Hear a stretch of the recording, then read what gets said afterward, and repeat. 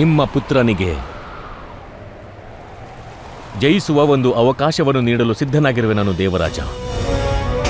ಸೂರ್ಯನ ಪ್ರಕಾಶ ಕೊಡುವುದರಿಂದ ಕಡಿಮೆಯಾಗುವುದಿಲ್ಲ. ಸೂರ್ಯಪುತ್ರನ ಸಾಮರ್ಥ್ಯವೂ ಕಡಿಮೆಯಾಗುವುದಿಲ್ಲ.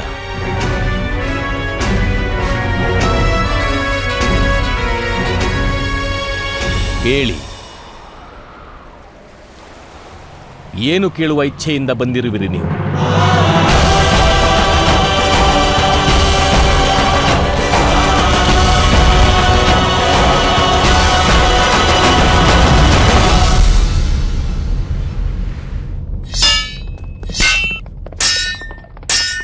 ಆದರೆ ಅಂಥದ್ದೇನು ದಾನ ಕೇಳುವರು ಆ ಬ್ರಾಹ್ಮಣ ದೇವ? ಅದರಿಂದ ನನಗೆ ಅವಕಾಶ ದೊರಕುವಂಥದ್ದು? ಮೋಸವಾಗಲಿ, ಕಪಟವಾಗಲಿ ಅಥವಾ ಅವಕಾಶವಾಗಲಿ, ಅಸ್ಥಿರವಾದ ಮನಸ್ಸನ್ನು ಸ್ಥಿರಗೊಳಿಸಲೆಂದೇ ಈ ಪ್ರಯತ್ನ. ವಾಸ್ತವವಾಗಿ ಇವುಗಳಿಗೆ ಬೆಲೆಯಿಲ್ಲ. ಎಲ್ಲಿ ಧರ್ಮ ತಾಳ್ಮೆ ಹಾಗೂ ಧೈರ್ಯಗಳಿರುವವೋ, ಅಲ್ಲಿ ಸಫಲತೆ ದೊರೆಯುತ್ತದೆ. ಅಲ್ಲಿ ಸಫಲತೆ ದೊರೆತೇ ದೊರೆಯುತ್ತದೆ ಪಾರ್ಥ. ಅವಕಾಶವಿಲ್ಲದಿದ್ದಲ್ಲಿ ಧರ್ಮ ಗುಪ್ತರೂಪದಲ್ಲಿರುವುದು, ಧೈರ್ಯ ಮಲಗಿಕೊಂಡಿರುವುದು ಹಾಗೂ ತಾಳ್ಮೆ ಕಾಣಿಸುವುದಿಲ್ಲ. ಹಾಗೆಂದು ಹೇಳಿದ್ದರಲ್ಲವೇ ಅವರು? ಅವಕಾಶದ ಅವಶ್ಯಕತೆ ಯಾವುದಕ್ಕೆ ಇರುವುದೋ ಆ ಧರ್ಮ ಮಿಥ್ಯವಾದುದು. ಅವಕಾಶವಿಲ್ಲದೆ ಜಾಗೃತವಾಗದ ಧೈರ್ಯವು ಅಪೂರ್ಣವಾದದ್ದು. ಸಫಲತೆಯ ಮೊದಲೇ ಕಳೆದು ಹೋಗುವ ತಾಳ್ಮೆ ವ್ಯರ್ಥವಾದುದು ಹಾಗಾದರೆ ನೀವು ದಾನ ತೆಗೆದುಕೊಳ್ಳುವುದನ್ನು ಒಪ್ಪಿದ್ದೇಕೆ, ಮಾಧವ? ಅವರು ಹೇಳಿದ್ದು ಸತ್ಯವೇ ಆಗಿತ್ತು, ಪಾರ್ಥ. ಈ ಧರ್ಮಯುದ್ಧದಲ್ಲಿ ಪ್ರತಿಯೊಂದು ಕೊಡುಗೆಯೂ ಮೌಲ್ಯಯುತವಾದದ್ದೇ.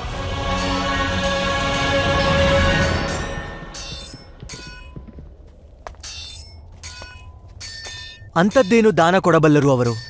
ಅದರಿಂದ ನನಗೆ ವಿಜಯದ ಅವಕಾಶ ದೊರಕುವಂಥದ್ದು?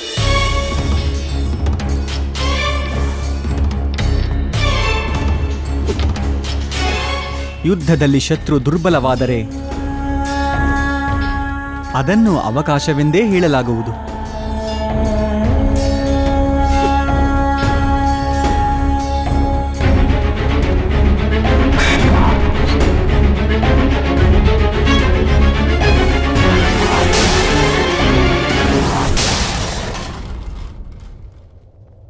ಗುರುದೇವ ಅರ್ಜುನರೇ ನಿಮ್ಮ ಬಾಣದಿಂದ ಯಾವ ಕವಚವೂ ಸುರಕ್ಷಿತವಾಗಿರಲಾರದು. ಅದನ್ನು ಎದುರಿಸಲು ದಿವ್ಯವಾದ ಕವಚವೇ ಬೇಕಾಗುವುದು.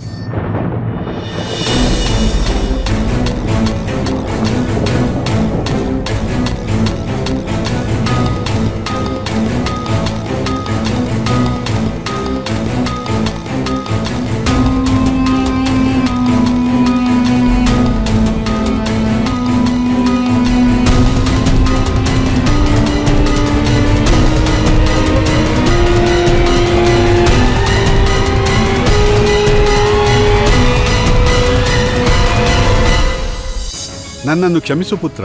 ಒಂದು ವೇಳೆ ಕೌರವರಿಗೆ ಜಯ ದೊರೆತರೆ, ಸಮಗ್ರ ಸಾಮ್ರಾಜ್ಯಕ್ಕೆ ಹಾನಿಯಾಗಬಹುದು.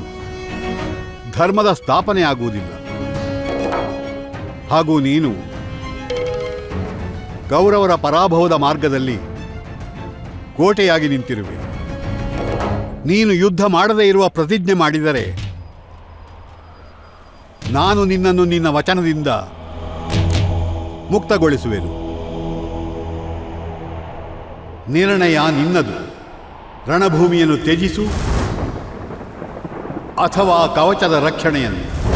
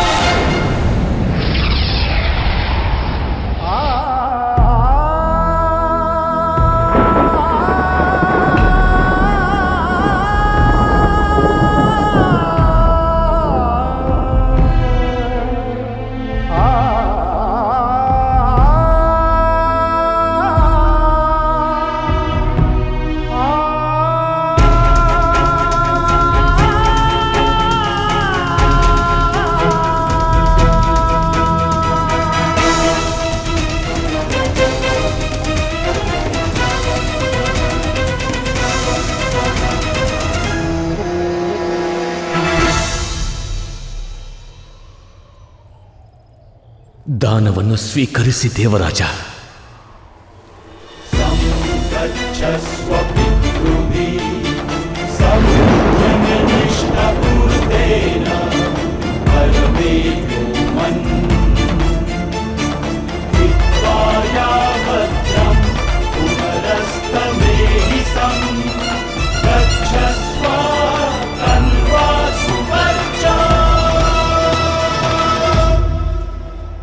ನಿಮ್ಮ ಪುತ್ರನ ವಿಜಯಕ್ಕಾಗಿ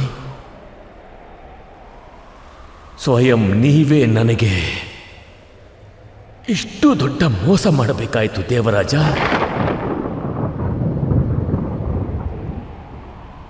ಇದನ್ನು ನೋಡುವುದರಿಂದಲೇ ನನಗೆ ವಿಜಯದ ಆನಂದವಾಗುತ್ತಿದೆ.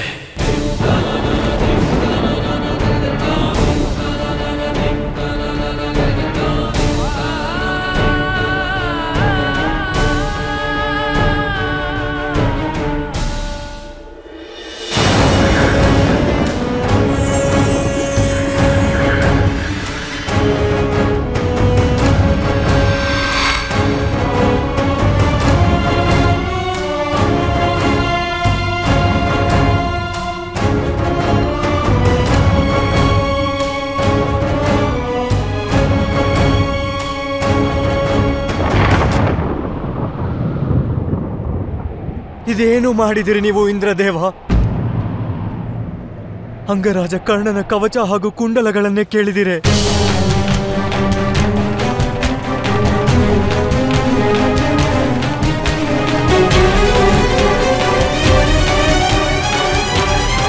ಪುತ್ರ ಅರ್ಜುನ ಇನ್ನು ನಿನ್ನ ವಿಜಯದಲ್ಲಿ ಯಾವುದೇ ಅಡ್ಡಿ ಇರುವುದಿಲ್ಲ. ಆದರೆ ನೀವು ಇಂತಹ ದೊಡ್ಡ ಅನ್ಯಾಯ ಮಾಡಲು ಹೇಗೆ ಸಾಧ್ಯ ಪಿತಾಶ್ರೀ? ನೀವು ಶತ್ರುವನ್ನು ದುರ್ಬಲಗೊಳಿಸುವ ಮೂಲಕ ನನ್ನನ್ನೇ ದುರ್ಬಲವಾಗಿಸಿರುವಿರಿ. ಸ್ಪರ್ಧೆಯೇ ಇಲ್ಲದಿದ್ದರೆ ಶಕ್ತಿಯಲ್ಲಿ ವೃದ್ಧಿಯಾಗಲು ಹೇಗೆ ಸಾಧ್ಯ? ಬಂಡೆಗಳ ಮಧ್ಯದಲ್ಲಿ ಹುಟ್ಟುವ ವೃಕ್ಷಗಳು ಬಲಶಾಲಿಯಾಗಿರುತ್ತವೆ, ಇಂದ್ರದೇವ. ಕೆಸರಿನಲ್ಲಿ ಹುಟ್ಟುವ ಕಮಲದ ದೇಟು ಬಲಶಾಲಿಯಾಗಿರುವುದಿಲ್ಲ. ಈ ದಿನ ನೀವು ನನ್ನ ಮೇಲೆ ಬಹಳ ದೊಡ್ಡ ಕಳಂಕ ತಂದಿರುವಿರಿ, ಇಂದ್ರದೇವ.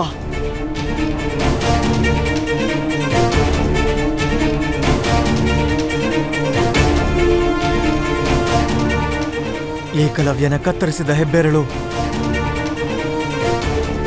ಈಗಲೂ ನನ್ನ ಹೃದಯದ ಮೇಲೆ ಭಾರವಾಗಿ ಕುಳಿತಿದೆ. ಈಗಲೂ ಯಾರಾದರೂ ನನ್ನ ಧನುರ್ವಿದ್ಯೆಯನ್ನು ಪ್ರಶಂಸಿಸಿದರೆ ನನಗೆ ಏಕಲವ್ಯನ ನೆನಪಾಗುತ್ತದೆ. ಸಂಶಯವಾಗುತ್ತದೆ. ಒಂದು ವೇಳೆ ಏಕಲವ್ಯನ ಬಳಿ ಅವನ ಹೆಬ್ಬೆರಳು ಇದ್ದಿದ್ದರೆ ಅವನು ನನಗಿಂತ ಶಕ್ತಿಶಾಲಿಯಾಗಿರುತ್ತಿದ್ದನೆ ಎಂದು.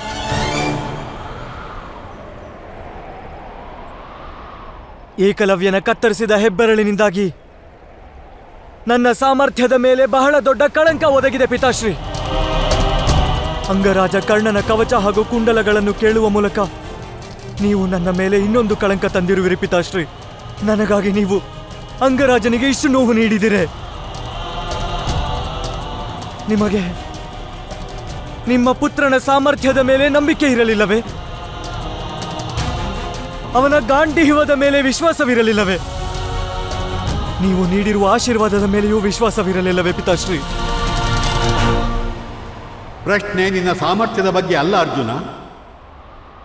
ಕರ್ಣನ ಕವಚ. ಒಂದು ದಿವ್ಯಾಸ್ತ್ರದ ಹಾಗೆ ದೇವರ ಪ್ರಸಾದವಾಗಿರಲಿಲ್ಲ. ಅದು ಭಗವಂತ ಸೂರ್ಯನಾರಾಯಣನ ಅಂಶ. ಕರ್ಣನ ಜನ್ಮದಲ್ಲಿ ಅದು ಸ್ಥಾಪಿತವಾಗಿದ್ದಿತು. ಅದನ್ನು ತೆಗೆಯುವುದು ಅನಿವಾರ್ಯವಾಗಿತ್ತು. ಮನುಷ್ಯರ ಯುದ್ಧದಲ್ಲಿ ದೇವರ ಅಂಶ ಪಾಲ್ಗೊಳ್ಳಕೂಡದು. ರಕ್ಷಣೆಯೂ ಆಗಕೂಡದು, ಪ್ರಹಾರಕ್ಕಾಗಿಯೂ ಆಗಕೂಡದು. ಇದೇ ಕಾರಣದಿಂದ ಹನುಮಂತ ನಿನ್ನ ಧ್ವಜದ ಮೇಲಿರುತ್ತಾರೆ. ನಿನ್ನ ರಥದಲ್ಲಲ್ಲ. ಆದರೆ ನೀವು ನನಗೆ ಶಾಪ ನೀಡಿರುವಿರಿ, ಪಿತಾಶ್ರೀ.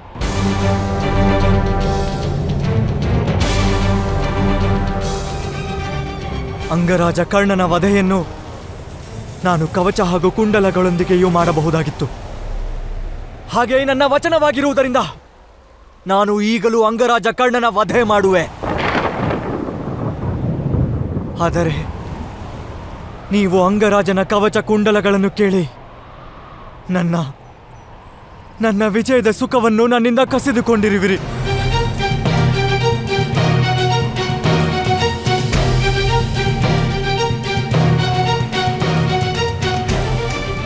ಜನ ಆಡಿಕೊಳ್ಳುತ್ತಾರೆ. ನನ್ನ ಶತ್ರುಗಳ ದುರ್ಬಲತೆಯಿಂದಾಗಿ ನನಗೆ ವಿಜಯ ಪ್ರಾಪ್ತವಾಗಿದೆ ಎಂದು. ನನ್ನ ವಿಜಯವನ್ನು ನೀವು ನನ್ನ ಅಪಮಾನವನ್ನಾಗಿಸಿದ್ದೀರಿ, ಪಿತಾಶ್ರೀ.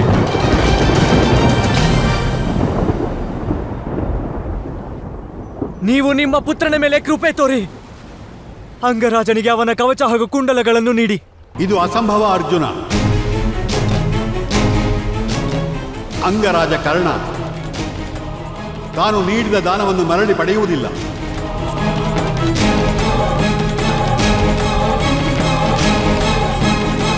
ನಿನಗೆ ವರದಾನ ನೀಡಲು ಸಿದ್ಧನಾಗಿರುವೆ. ಕೇಳು ವತ್ಸ ಕರ್ಣ ವರವನ್ನು ಕೇಳು. ನಾನು ದಾನ ನೀಡಿರುವೆ ದೇವರಾಜ. ವ್ಯಾಪಾರ ಮಾಡಿಲ್ಲ. ದೇವೇಂದ್ರನ ದರ್ಶನವಾದಾಗ ಏನೂ ದೊರೆಯದಿರಲು ಸಾಧ್ಯವೇ?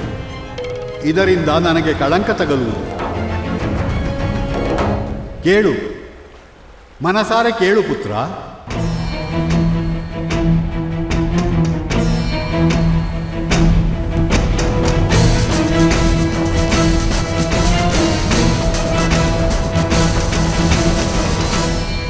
ಒಬ್ಬ ಯೋಧನಿಗೆ ಅತ್ಯಂತ ಉತ್ತಮ ವರದಾನವೆಂದರೆ ಅದು ಅವನ ಶಸ್ತ್ರ. ಒಂದು ವೇಳೆ ಕೊಡುವ ಪರಮೈಚ್ಛೆ ನಿಮಗಿದ್ದರೆ, ಒಂದು ಅಸ್ತ್ರ ನೀಡಿ. ಅಂಥ ಒಂದು ಅಮೋಘ ಅಸ್ತ್ರ.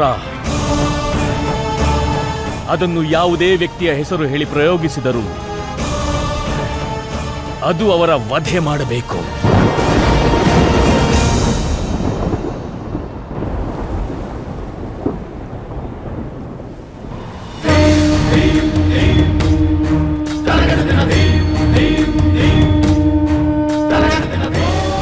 तथास्तु।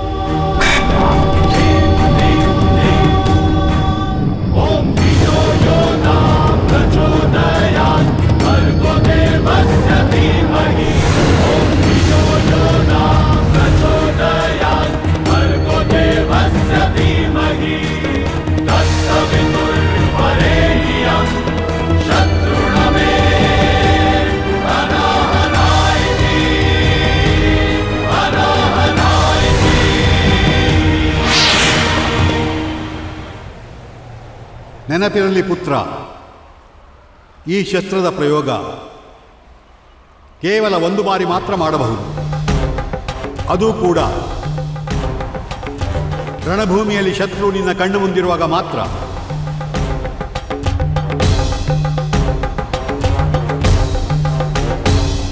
ನಾನು ಇದನ್ನು ಸ್ವೀಕರಿಸುತ್ತೇನೆ ದೇವರಾಜ.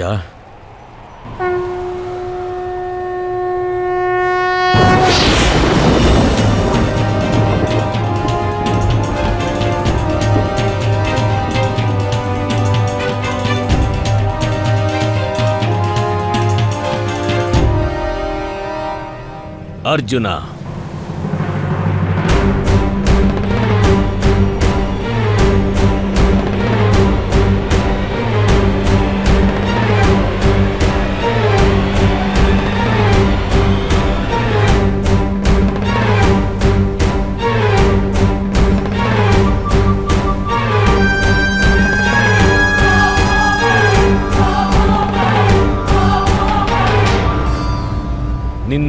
ಮೃತ್ಯು ಅವಶ್ಯವಾಗಿ ನನ್ನ ಕೈಗಳಿಂದಲೇ ಆಗುವುದು.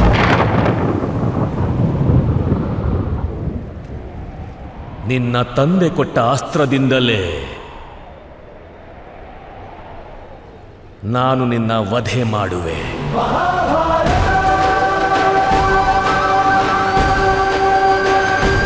ಶೀಘ್ರದಲ್ಲಿಯೇ.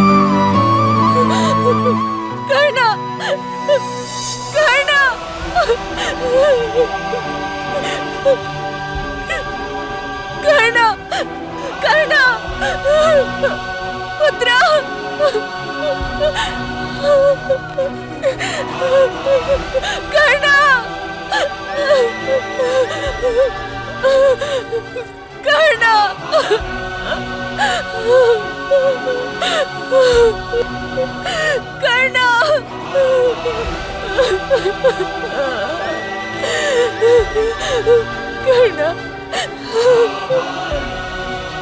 ಕರ್ಣ ಪುತ್ರ ಕರ್ಣ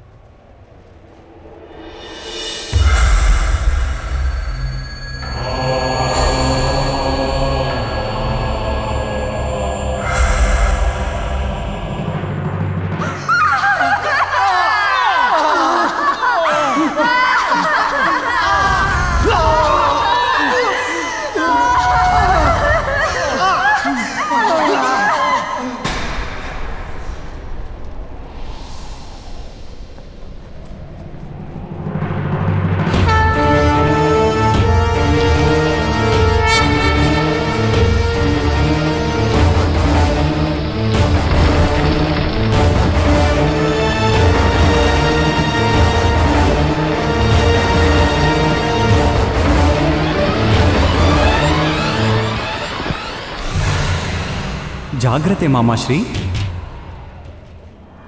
ಯುದ್ಧ ನಾಳೆ ಇದೆ. ಹಾಗೂ ನಿಮ್ಮ ಕಾಲುಗಳು ಈಗಲೇ ಎಡುವುತ್ತಿವೆ ಯಾವುದೇ ದೊಡ್ಡ ಕಾರ್ಯದ ಮೊದಲು ಕಾಲುಗಳು ಎಡವುವುದು ಒಳ್ಳೆಯದು ವಾಸುದೇವ. ಒಂದು ವೇಳೆ ಮನುಷ್ಯನಿಗೆ ತನ್ನ ಮೇಲೆ ತನಗೆ ಅತಿ ವಿಶ್ವಾಸ ಉಂಟಾದರೆ ಆಗ ಅವನು ಉತಾವಳಿ ಆಗುತ್ತಾನೆ. ಹಾಗೂ ಯಾವಾಗ ಮನುಷ್ಯನ ಜೀವನದಲ್ಲಿ ಎಡವುವ ಸಮಯ ಬರುವುದೋ ಆಗ ಇಡೀ ಸೃಷ್ಟಿಯೇ ಅವನನ್ನು ಉತಾವಳಿಯಾಗಲು ವಿವಶಗೊಳಿಸುತ್ತದೆ ಮಾಮಾಶ್ರೀ. ಅಂಥ ಸ್ಥಿತಿಗಳು ಉದ್ಭವಿಸುವ ಮೂಲಕ ಮನುಷ್ಯನಿಗೆ ಅತಿಯಾದ ವಿಶ್ವಾಸ ಉಂಟಾಗಿ ಬಿಡುತ್ತದೆ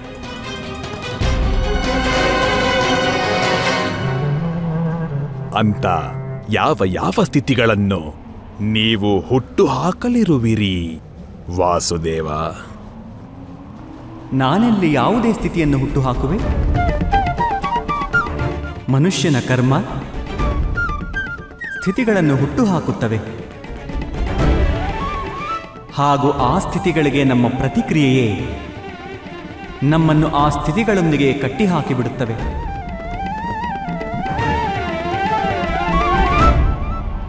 ಮಹಾಮಹಿಮರು ನಿಮ್ಮ ಸಹೋದರಿಯ ವಿವಾಹವನ್ನು ಒಬ್ಬ ನೇತ್ರಹೀನನೊಂದಿಗೆ ಮಾಡಿಸಿ ನಿಮ್ಮ ಮನಸ್ಸಿನಲ್ಲಿ ಪ್ರತೀಕಾರದ ಸ್ಥಿತಿಯನ್ನು ಹುಟ್ಟುಹಾಕಿದರು. ಹಾಗೂ ನೀವು ನಿಮ್ಮ ಸಹೋದರಿ ಹಾಗೂ ಅವರ ಮಕ್ಕಳನ್ನು ಸಿಂಹಾಸನದ ಮೇಲೆ ಕೂರಿಸುವ ಪ್ರತಿಜ್ಞೆ ಮಾಡಿದಿರಿ. ನಿಮ್ಮನ್ನು ನೀವೇ ಆ ಸ್ಥಿತಿಯೊಂದಿಗೆ ಕಟ್ಟಿಹಾಕಿಕೊಂಡಿರುವಿರಿ.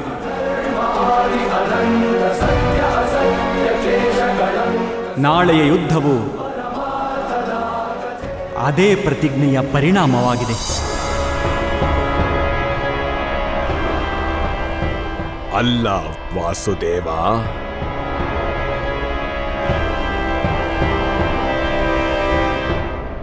ನಾಳೆಯ ಯುದ್ಧ ಹಸ್ತಿನಾಪುರದ ಅಹಂಕಾರದ ಪರಿಣಾಮವು. ಹಸ್ತಿನಾಪುರವು ತನ್ನ ಶಕ್ತಿ ಪ್ರದರ್ಶನದಿಂದ ನನ್ನ ಪ್ರಿಯ ಸೋದರಿಯ ಭಾಗ್ಯದ ಮೇಲೆ ಪಟ್ಟಿಯನ್ನು ಕಟ್ಟಿತು. ಆ ದಿನವೇ ನಾನು ಸ್ವಯಂ ನನಗೆ ವಚನ ಕೊಟ್ಟುಕೊಂಡೆ.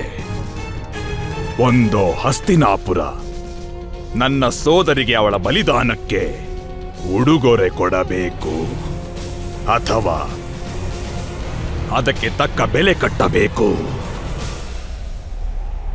ಬಲಿದಾನದ ಬದಲಾಗಿ ಉಡುಗೊರೆ ಅಥವಾ ಬೆಲೆಯೇ?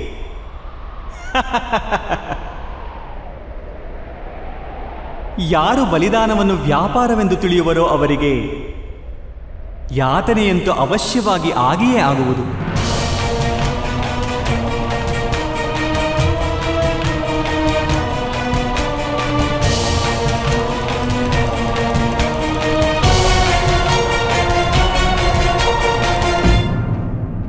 ವಿಚಿತ್ರವೆಂದರೆ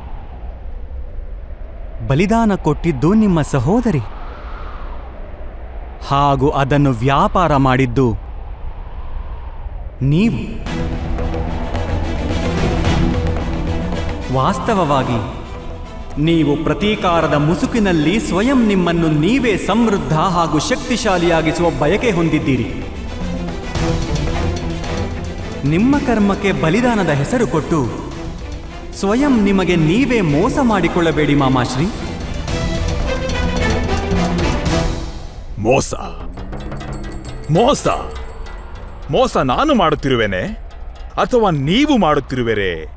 ವಾಸುದೇವ, ಈ ಯುದ್ಧವನ್ನು ಧರ್ಮಯುದ್ಧವೆಂದು ಹೇಳಿ ನೀವು ಇಡೀ ಆರ್ಯವರ್ತಕ್ಕೆ ಮೋಸ ಮಾಡುತ್ತಿರುವಿರಿ. ಈ ಇಡೀ ಜಗತ್ತಿನಲ್ಲಿ ಒಂದು ವೇಳೆ ನನಗಿಂತ ದೊಡ್ಡ ಕಪಟಿ ಇರುವುದೇ ಆದರೆ ಅದು ಕೇವಲ ನೀವು ಮಾತ್ರ ವಾಸುದೇವ. ನನಗೆ ಸಂಪೂರ್ಣ ವಿಶ್ವಾಸವಿದೆ. ನಿಮ್ಮ ಈ ಧರ್ಮ ಯುದ್ಧದಲ್ಲಿ ನೀವು ಮೋಸ ಮಾಡುವುದರ ಮೂಲಕ ಅಧರ್ಮವನ್ನು ಅವಶ್ಯವಾಗಿ ಮಾಡುವಿರಿ.